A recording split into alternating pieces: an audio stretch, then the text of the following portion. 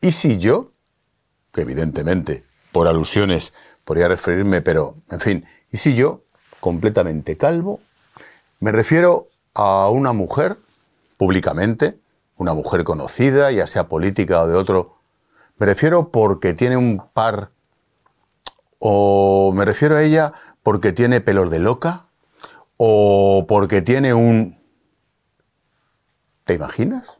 Con toda la razón, la que se montaría.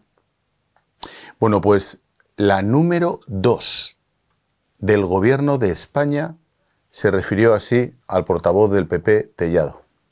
Hace un rato escuchaba unas declaraciones de, este hombre que habéis mandado para allá, para Madrid.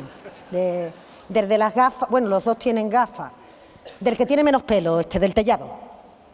De Miguel Tellado, que debe de estar en una convención por aquí. Toda la panda de súbditos y pelotas en el cónclave de Maras del PSOE, riendo las gracias, por hombre, es que María Jesús Montero es que es así, de chistosa, de graciosa. El problema no es que se refiera a Tellado como el que tiene menos pelo, o el que se refiera a los demás por los de las gafas. El problema es que te imaginas al revés. ¿Te imaginas que nos refiriéramos cualquiera, Tellado, Feijó, yo, cualquiera, a María Jesús Montero por lo que podríamos decir de ella o de cualquier otra en la barra de un bar? El problema de fondo no es lo que dice. El problema de fondo no es si Tellado es calvo o no, anda que algunos estamos para dar lecciones.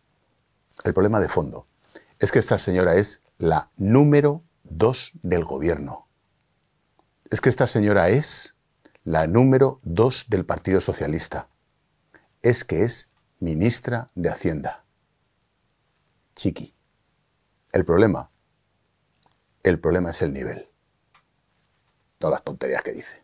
Del que tiene menos pelo, este, del tellado.